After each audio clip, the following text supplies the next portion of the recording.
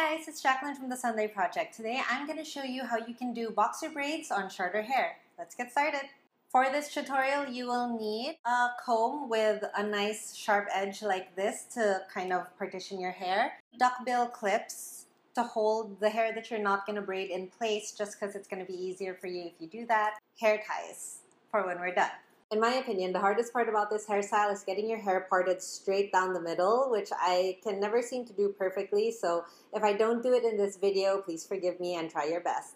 So that's what we need the sharp edge of this comb for. What you want to do is just take it straight down and part your hair down the middle and then around the back. So I'm going to turn around and show you that. So try your best to kind of split your hair straight down the middle. Use your duckbill clips to hold the hair that you aren't going to braid yet in place. So we're to start working on this side of your head and then you take about an inch section of hair and you're to do a Dutch braid and you want to just make sure that you're doing your braid kind of along the side here and then down and since my hair is pretty short I'm not to get all of it especially um, the shorter strands here in the very back. So when I get to the bottom, I'm just to tie it off. But if your hair was longer, then you just keep going until all your hair is incorporated and then you tie it off.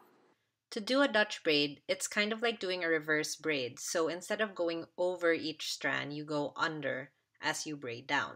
Remember to always braid in the direction that you want your hair to go to. Once you have a few braids in place, then you start adding pieces from the left and the right and incorporating that into your braid, like I'm doing here.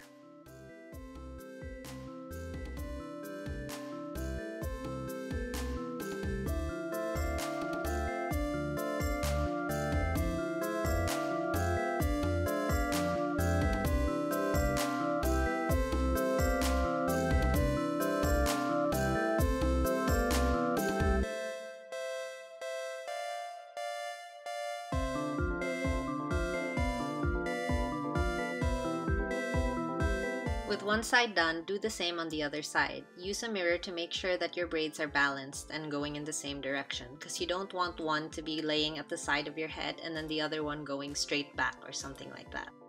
I'm going to speed up this process because it must be really boring to watch me just braid my hair, but basically that's it.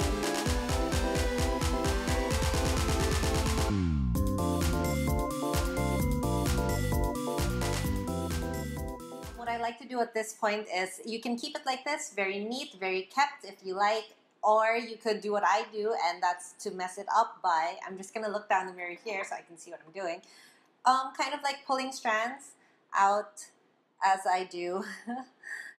so just kind of pulling hair out and just making it a little messy. And if you do wear this to work out, then it's definitely going to fall out a little bit anyway, and it's going to get kind of messy, so it'll get there for you. And then I like to kind of pull it apart just a little bit, not too much, because your if your hair is as short as mine, if you pull it apart too much, then it's just going to fall out of the braid and it's going to be too messy. So I just kind of like to loosen it up a little bit, especially here in on the top where the braid was tighter, um, just to give it a little more body and to make me look a little bit less like Heidi.